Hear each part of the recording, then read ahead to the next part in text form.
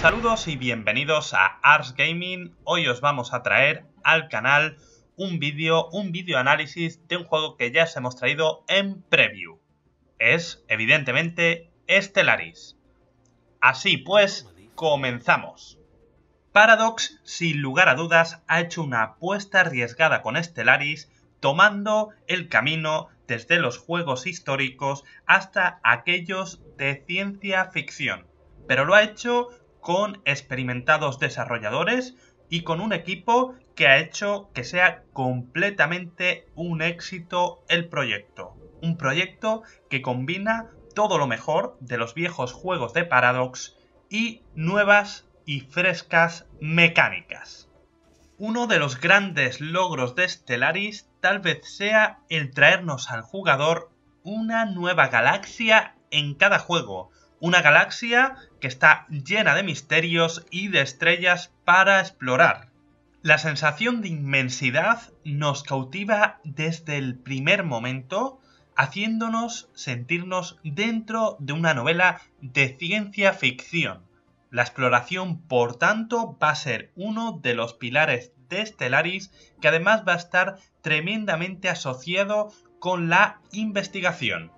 Para explorar la galaxia no vamos a poder valernos de nuestras flotas militares, sino que por el contrario tendremos que usar nuestras naves científicas llevadas por líderes que sean capaces de investigar los confines de la galaxia y de traernos avances importantes para nuestras investigaciones.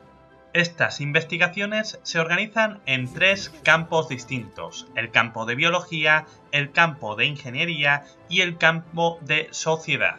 Y además funciona como si fuera una baraja de cartas en las que irán saliendo diferentes proyectos cada vez que terminemos una investigación.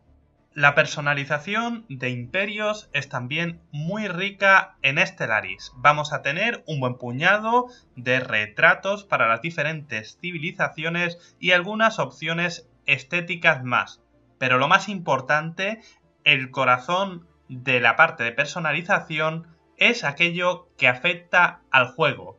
Podremos elegir el ambiente donde se desarrolla nuestra cultura principal, pero además podremos elegir la ideología política de estas razas.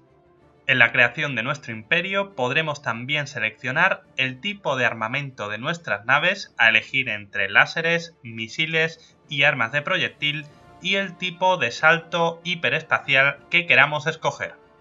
Ya una vez dentro de la partida hay un aspecto que nos ha llamado poderosamente la atención y que es muy original. Hablamos de las poblaciones, que son tomadas directamente de la saga Victoria. Las poblaciones son la gente que vive en nuestro imperio y cuando nuestro imperio crezca y se empiece a volver más extenso, estas poblaciones empezarán a tener diferentes ideologías que harán más difícil la gestión de nuestro imperio, ya que se formarán diferentes facciones con distintas aspiraciones.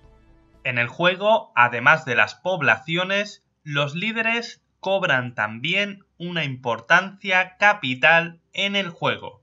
Vamos a tener diferentes tipos de líderes, militares, científicos y políticos.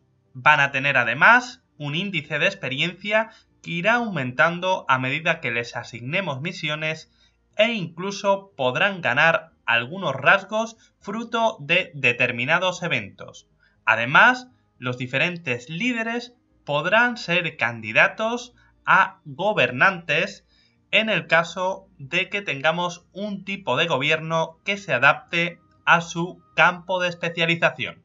Los líderes militares, almirantes y generales van a ser decisivos en los combates, que como en otros juegos de Paradox se van a resolver de manera automática. El nivel tecnológico de nuestro imperio también va a ser completamente fundamental y decisivo en los combates. Va a ser fundamental y decisivo porque podremos investigar nuevas armas que colocar en nuestras naves. Estas armas las podremos colocar en nuestras naves y personalizarlas porque tenemos a nuestra disposición un diseñador de naves. Es un diseñador simple con diferentes huecos donde colocamos armas, armaduras y energía de la nave, pero bastante interesante ya que nos permite jugar con naves más ofensivas y naves más defensivas.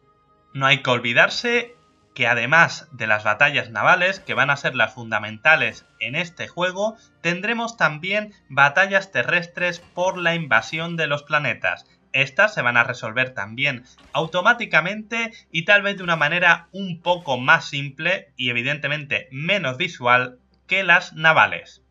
En cuanto a la gestión, tenemos varias cosas importantes que señalar. La gestión está muy vinculada a las poblaciones y en cada planeta tendremos un determinado número de huecos que irá siendo ocupado por las poblaciones. En estos huecos podremos realizar diferentes construcciones que nos permitirán aumentar nuestros recursos.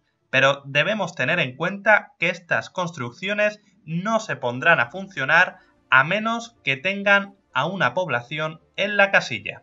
En cuanto a la administración de nuestros planetas, Stellaris ofrece un fino equilibrio entre la microgestión y la automatización de todo. Vamos a tener varios planetas de base 5 que podremos administrar con microgestión, pero a partir de ese momento tendremos que empezar a crear sectores administrativos que serán llevados automáticamente por la inteligencia artificial. Fijaremos, por tanto, el nivel de impuestos que deben pagar a la capital y nos sirve también para reflejar que todo imperio necesita cierta burocratización para funcionar de manera más o menos eficiente. La economía en sí es bastante simple. Vamos a tener minerales que nos sirven para construir naves y edificios, créditos energéticos que sirve a la vez de moneda y también nos proporciona la energía que necesitan los edificios y las naves y por otro lado la influencia que nos sirve para realizar determinadas acciones políticas y el reclutamiento de líderes. Aunque la sencillez en la economía es una virtud, sí que echamos en falta dos aspectos que mejorarían tremendamente este factor. Por un lado, la presencia del comercio al estilo de Europa Universalis 4 con nodos comerciales. Y por otro lado, la presencia de la iniciativa privada que no hemos visto de momento en Stellaris, aunque no podemos descartar que se incluya en futuros DLCs. Obviando este aspecto, que no es fundamental, Stellaris es un gran juego que introduce nuevas dinámicas al género y que va a hacer historia en los 4X. Stellaris no es solo una mezcla de las mejores mecánicas de los juegos de Paradox. Los desarrolladores han mostrado al público su creatividad ofreciéndonos nuevas e interesantes dinámicas que no habíamos visto antes en ninguno de los juegos de Paradox. Es un juego además con un buen rendimiento y que va a funcionar en la mayoría de equipos. Y además su banda sonora y su trabajo artístico son magníficos. Por eso podemos decir sin ningún tipo de duda que Stellaris es una auténtica obra maestra de los videojuegos. Y con esto acabamos el análisis de hoy. Espero que os haya gustado y si ha sido así, no os olvidéis de darle a like, de suscribiros al canal y de visitar el análisis en la página web. Un saludo, gracias por estar ahí y nos vemos en el siguiente vídeo.